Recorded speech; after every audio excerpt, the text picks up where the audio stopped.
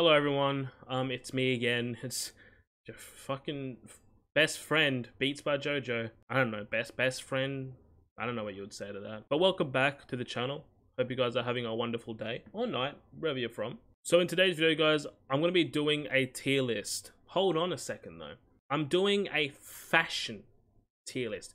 Yes, you heard correctly. A fashion tier list. And for you people who say put put your jokes in the starting of videos.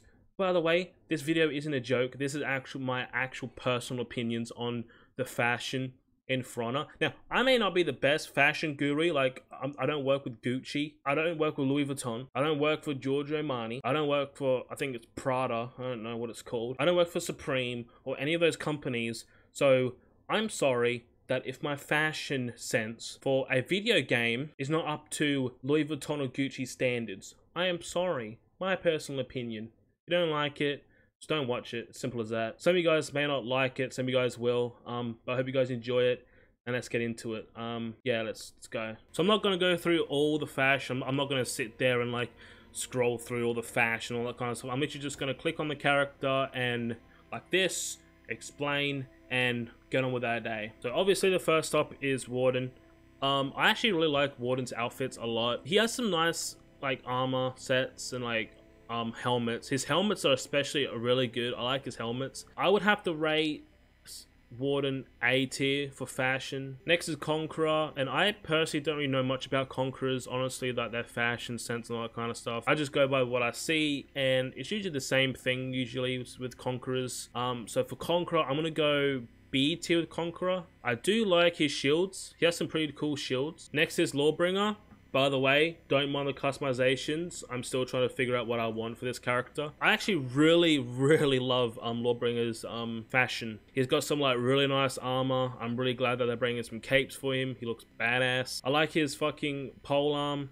Some of the stuff you put on that's really nice. So I'm gonna give Warden S tier. Gladiator. Now, Gladiator is is sim similar to Conk in a way. I'm always seeing the same thing with Gladiator. They usually rock that lion helmet or something like that. That's what I mostly see. I'm gonna have to go with B tier for uh, Gladiator. Next is my boy, my Rep 70 boy. Centurion, in my opinion, has some of the, if not some of the best armor and weapon sets in the game. He has some of the best masks in the game. He also has a cape, which makes him extra badass. So with Centurion, I'm going to go S tier for Centurion. I really like that the white iron and the gold. It really suits him in my personal opinion. The black iron material is just heavily used, so it's like, it's a bit boring. Next hero, and probably going to be the next next hero I play, is Black Prior. Now, I actually really, really like Black Prior. Black Prior for me would have to be on par with Warden though. But um, I do like um Black Prior's fashion. I do really like it. He's not on par with Centurion or Lawbringer personally, just because he doesn't have as much as Centurion and Lawbringer.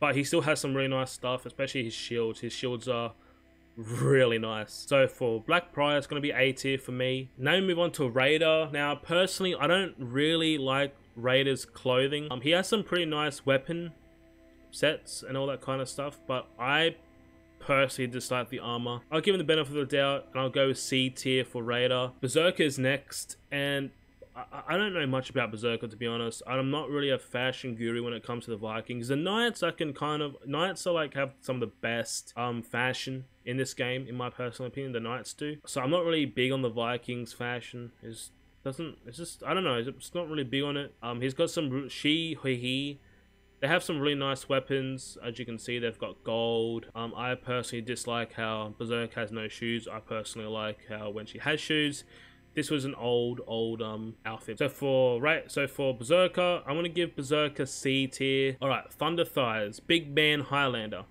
Um Highlander has some of the I, I reckon Highland has some of the really the best looking stuff for the back then times, if you know what I mean. Like, he's a Scottish man. He's got like the fucking Scottish look to him.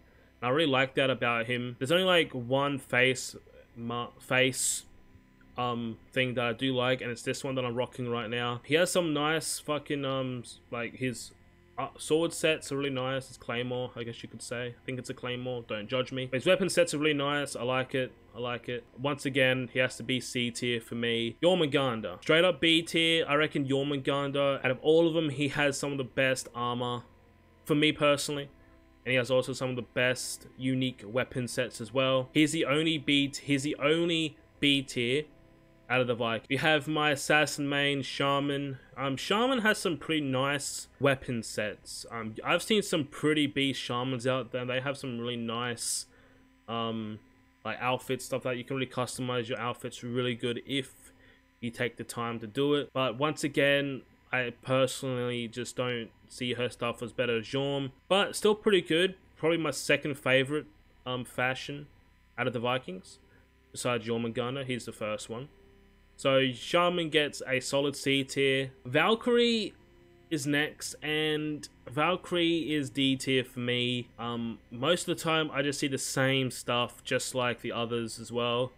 But at least with the others, it's more unique in a way, whereas Valkyrie doesn't seem unique to me personally. WWE wrestler Warlord is next, and um, once again, he is C tier as well. Most of the, like I said, my, my most of the Vikings are C tier, with the exception of Yorm, who's B tier, and Valkyrie, who is D. I see the same warlords every now and then, and it's just boring to me. But every now and then you see some unique warlord, but it just doesn't. It's not like whoa, that's cool. Nothing like that. So, so Kensei is up, and I'm gonna have to give Kensei a solid B tier for, or not B tier.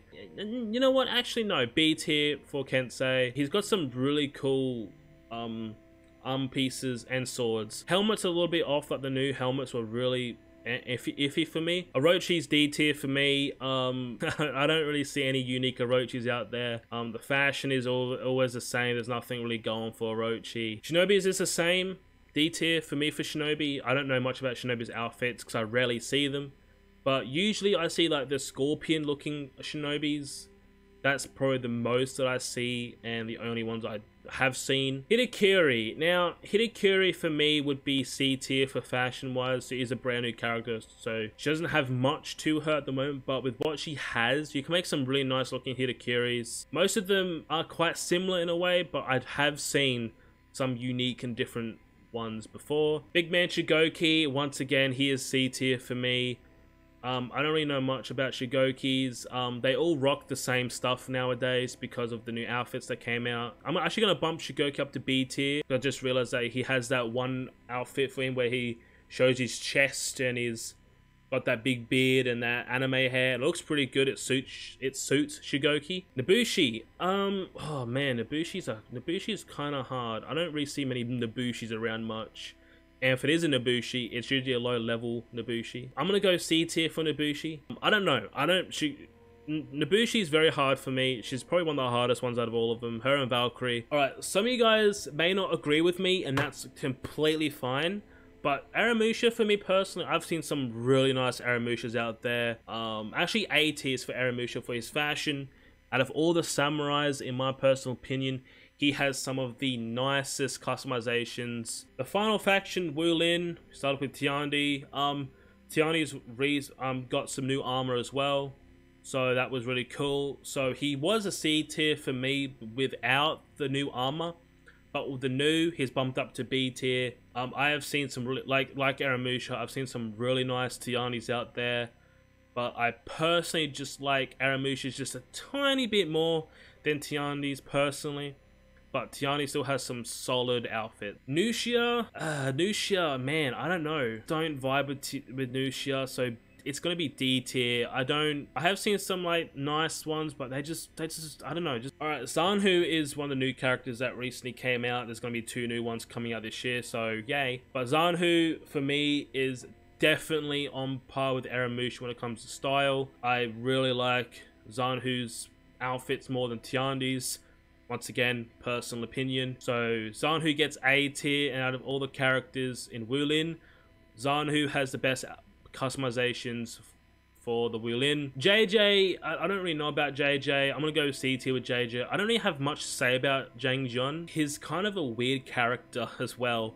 The same with the other three. Like I said, Nuxia, Valkyrie, and Nobushi. JJ is the other one that I'm kind of struggling with when it comes to the fashion sense.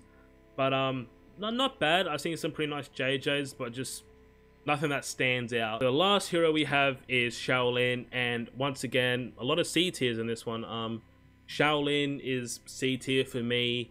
Nothing really vibes with him. Like I've seen some nice Shaolins, but nothing that stands out. Well, guys, that's gonna do for the video. I do hope you guys enjoyed that. Once again, guys, these are my personal opinions. Don't go to the comment section attacking me. I hope you guys enjoy the video. I'll see you guys in the next one. Keep your head held high, and I'll talk to you all later. Peace out, everyone.